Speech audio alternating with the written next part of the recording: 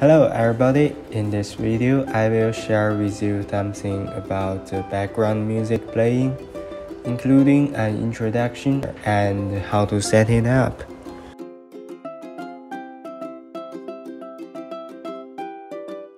Users can play the uploaded custom background music through the cooperation of the dispatch console and network speakers or play real-time music through the Accents external sound source acquisition feature. It is very suitable for some indoor scenarios, such as shopping malls and hotels.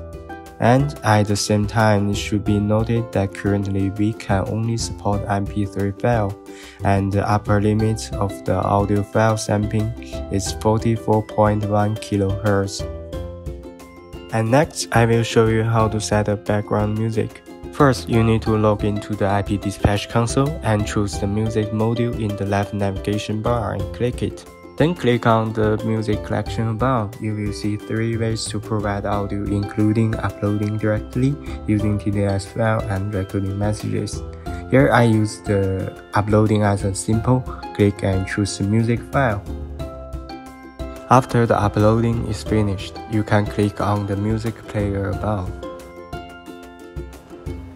Click the plus to create a playlist, fill in name, and choose the files.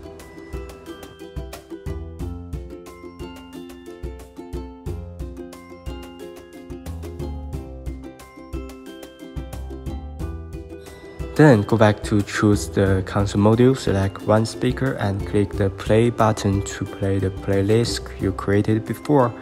And after a few seconds, the music will start playing successfully.